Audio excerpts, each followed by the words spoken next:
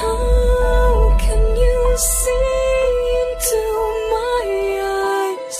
Like open